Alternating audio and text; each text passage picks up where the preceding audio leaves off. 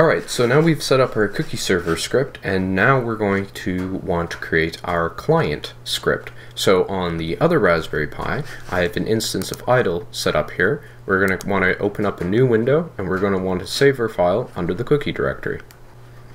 And I'm going to call our file cookieclient.py. So since the first step on our server end was importing uh, socket. You're, you can guess that the first step on our client end is also importing socket. Now, this time our host is not going to be trivial because we actually need to specify an address to connect to. And since both of my Pis are assigned to static IP addresses on my router, I know that my uh, is at the IP address 192.168.1.79 yours will vary. And uh, you'll have to look at your router to find out, or ping your other Pi or something like that to figure it out. Now, the port that we specify has to be the same as the port that we specified last time. What did I use? 5060? 5560. So 5560. And then, just like last time, we set up our socket so we said that our socket is equal to socket dot socket bracket socket dot af underscore inet comma so that's the type of connection and then socket dot sock stream which specifies uh, TCP versus UDP so we set up our socket and then we're going to want to establish a connection with our socket uh, to our host. Oh and you have to send in a tuple here. So host comma port.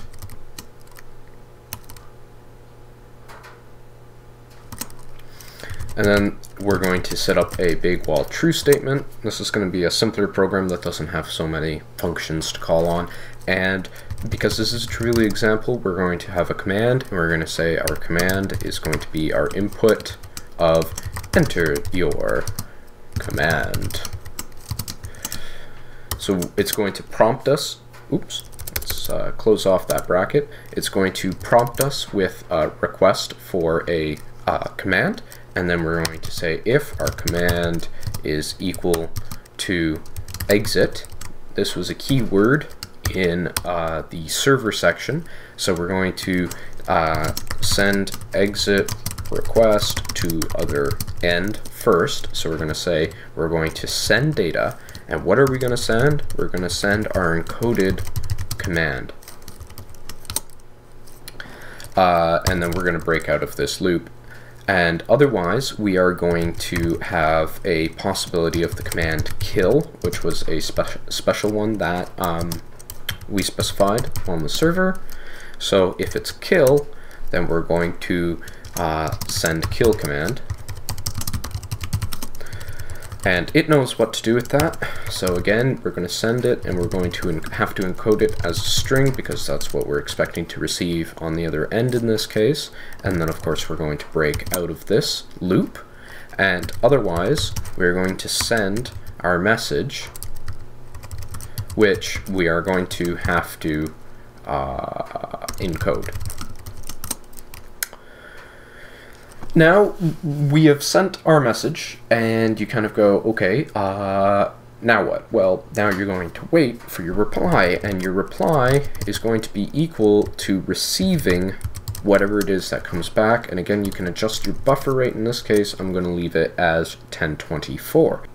So now we've received our reply back, and because we have such a trivial example, the only thing we're going to do with our reply is we're going to print it. So we're going to take our reply, we're going to decode it, and we're going to print it. We're going to decode it as uh, UTF-8. And then if we were to break out of this while true loop at all, we're going to close down our socket. Let's give this a save. So now we have our cookie client set up and we have our cookie server set up. Make note that uh, you need to make that adjustment in your bind for the tuple. Now, because I'm on Wi-Fi in a basement and the connection is really slow, I'm going to be executing my server in the terminal because this is more responsive for me. So I'm going to be navigating to the desktop, to the cookie folder, and in here we have our cookie server.py file. So we're going to execute that using Python 3.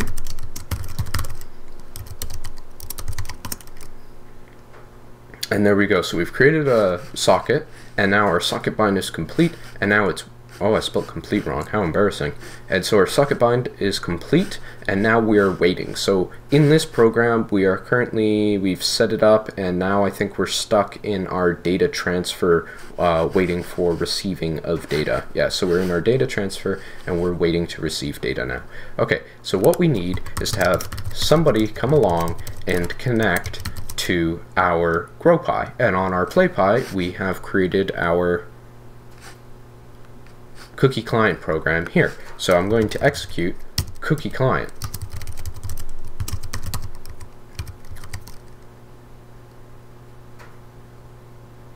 And there we go. We're now waiting to enter our command. If we navigate back to the other one, this is our server end. We see that we are now connected to, this is the IP address of our uh, PlayPy, and this is the second part of the address. So here we go, we are connected and it specified that. Now it's asking us for a command. Well, remember our commands are get, repeat, uh, kill, quit, and anything else. So let's try get. Oh, cool. Yo, what's up? So, and it says data has been sent. So that was it calling on the stored value here, yo, what's up, in our cookie server. So that's kind of cool. Um, let's try another command. Repeat and apples, appeals, applies. Yeah. Okay, there we go. So it took our first segment, split it by the space just like we wanted it to, and then it regurgitated everything else. And everything else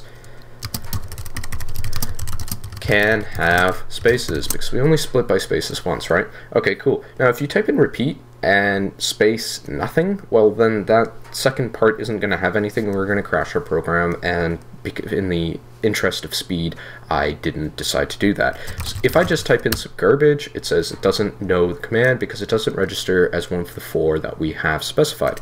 Uh, if we wanted to exit this, we can. See, we exited it and we are now back to our terminal. Looking over here, we see our server is very sad because our client has left us and now it's waiting for another connection.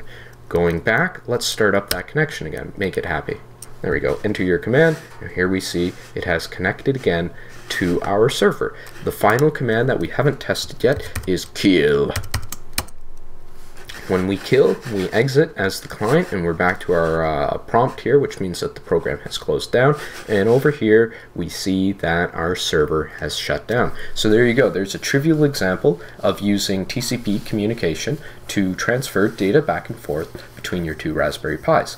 Uh, in the next following couple videos, I'm going to be showing you how you use this in the context of catching our cookie thief security system by turning on a LED when a sensor uh, detects that the temperature is not right, so like a warning status LED. So we're going to be employing the GPIO lessons that we've gone over before, as well as the concept of importing modules uh, so that we can get like a main master file going and pull on smaller modules that we create. So I'll see you in that video. Hope you enjoyed this one.